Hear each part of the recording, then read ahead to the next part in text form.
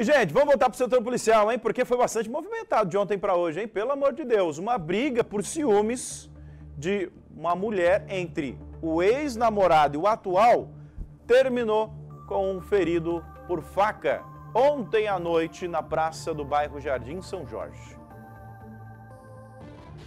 Um homem de 35 anos foi esfaqueado e agredido na noite de ontem na praça que fica entre o bairro Jardim São Jorge e o bairro Paranapungá. Por volta das 21 horas, a Polícia Militar e o SAMU foram chamados no local. Lá, um homem de 35 anos havia sido agredido com um pedaço de tijolo e também com a facada no braço. O homem de 35 anos contou que estava com a namorada no local quando o ex dela, um homem de 26 anos, junto com o irmão dele, apareceu e começou a agredir o homem de 35. Um dos autores das agressões teria pegado um tijolo e desferido um golpe contra o peito da vítima, que acabou se desequilibrando e caindo. Logo em seguida, o homem de 26 anos, que teve um relacionamento com a mulher e estava enciumado com o um novo caso amoroso dela, desferiu um golpe de faca contra o braço da vítima. A vítima acabou tendo um corte profundo no antebraço esquerdo, na tentativa de impedir que a facada pegasse em um órgão vital, no tórax.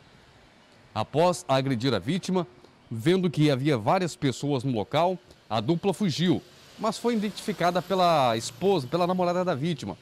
Os policiais militares chegaram a fazer rondas pela região na tentativa de encontrar os autores, mas eles não foram encontrados naquele momento. A vítima foi levada para o hospital auxiliador, não corre risco de morte, passou por uma cirurgia para levar pontos no corte que era profundo e segue em observação.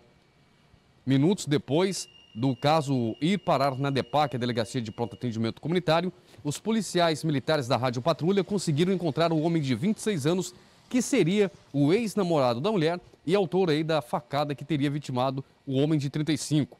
O rapaz de 26 negou que tivesse esfaqueado o rival, disse que houve uma discussão, mas que não seria ele o autor da facada.